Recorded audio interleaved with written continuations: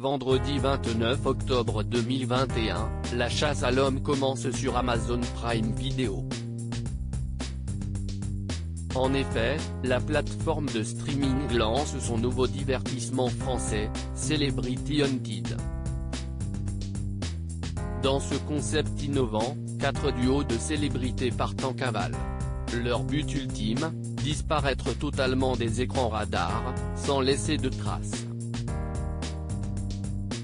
Ils devront échapper à tout prix à des experts de la cybersécurité, du profilage et des professionnels de l'investigation. Durant dix jours, la traque sera donc intense.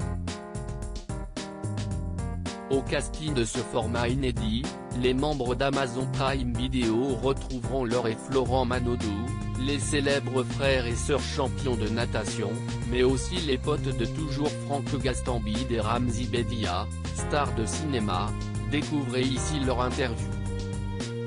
Dajou et Darcy, les petits frères de Maître Gims également artistes, et les youtubeurs Squeezie et Seb Lafrite seront aussi de la partie tous dans la même galère mais séparément, ils devront quitter Paris et réussir à rester planqués le plus longtemps possible. Caméra de surveillance, traçage d'appels, reconnaissance de plaques d'immatriculation, la team de ceux qui les recherchent disposeront des moyens qu'utilisent les forces de l'ordre habituellement pour stopper les fugitifs. Laure et Florent Manodou dans Celebrity Hunted sur Amazon Prime Video Dans le cadre de la promotion de Celebrity Hunted, Téléstar a eu l'occasion de s'entretenir avec Laure et Florent Manodou.